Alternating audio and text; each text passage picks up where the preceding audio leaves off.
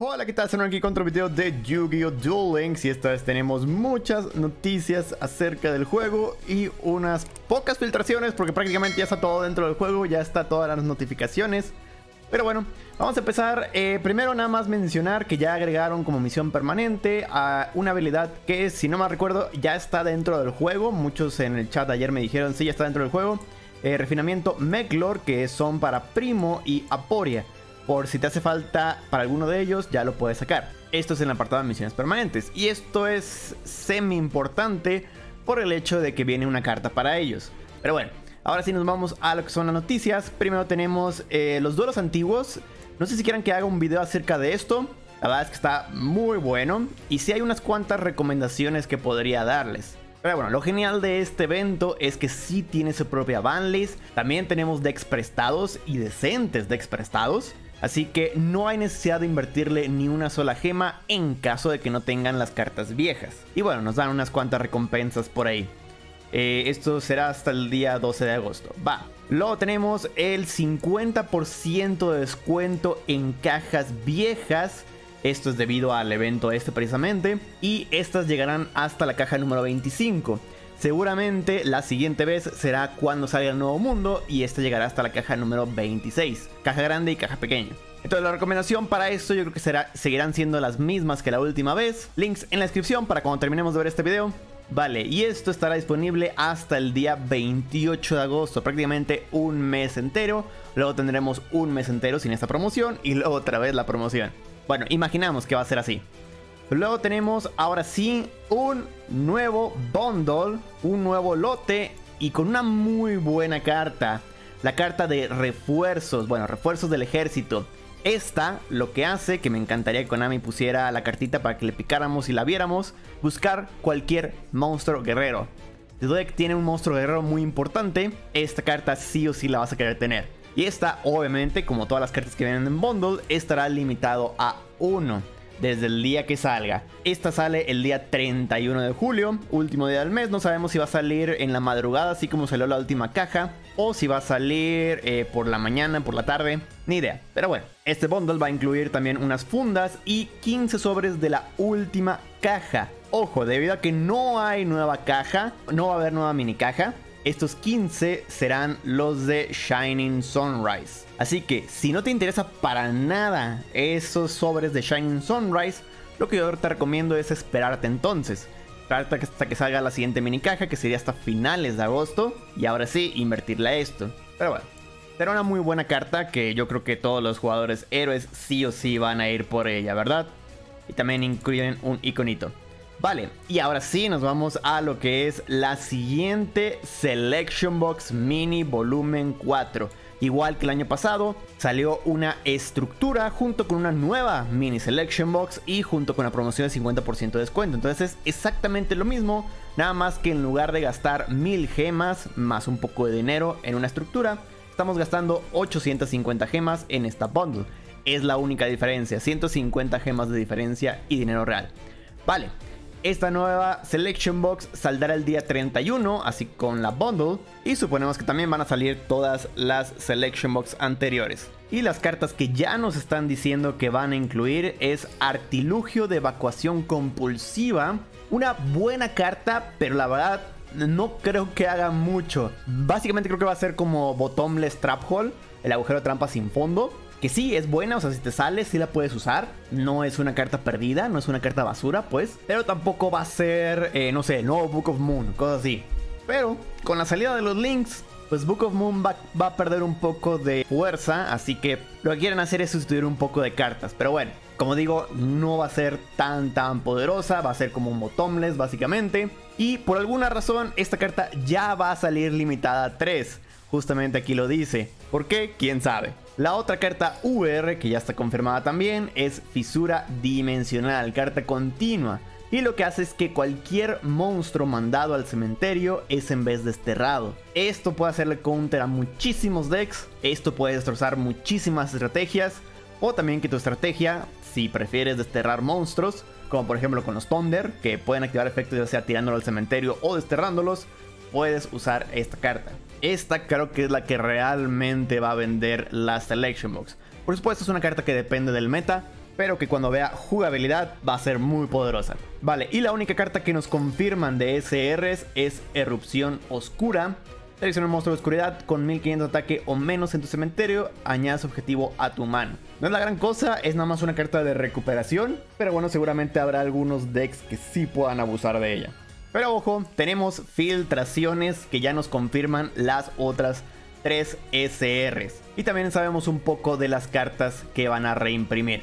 Todo esto gracias al siguiente videito de la salida de la Selection Box.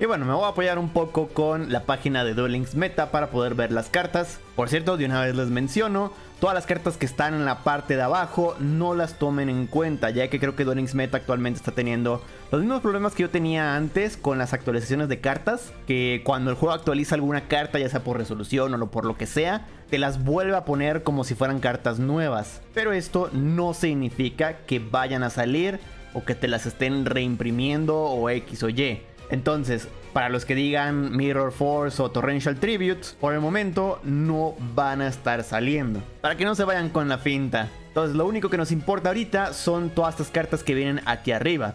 Todas las cartas que ya tienen rarezas es porque ya están dentro del juego y las que no tienen son las nuevas cartas. Entonces, empecemos con las nuevas cartas. Por alguna razón no pusieron la carta de Compulsory, la UR, pero ya, ya la vimos que está anunciada y la vemos también aquí arribita. Entonces, esa es una UR y la otra UR es la dimensión. Son las únicas dos URs nuevas que vienen. Y deben de venir cuatro SRs. La primera, que es la que ya nos confirmaron, Dark Eruption. La segunda, que también está confirmada 100%, es esta que viene en la imagen, que es el Evolzar Lagia. Un muy buen exit. Necesitas dos monstruos dinosaurios de nivel 4. Es lo único malo, no puedes hacerlo con cualquier deck, es solamente con dinos. Pero lo que hace es que durante el turno de cualquier jugador, cuando un monstruo fuera a ser invocado de manera normal o especial, o es activado el efecto de una carta de magia o trampa, puedes acoplar de esa carta dos materiales y luego negar esa invocación o activación y si lo haces destruir esa carta.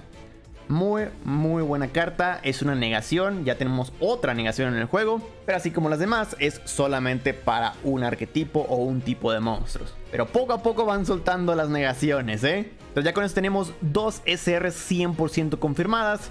Y ahora sí nos faltan dos SRs, pero que son prácticamente seguras a venir, ya que aparecen en el video.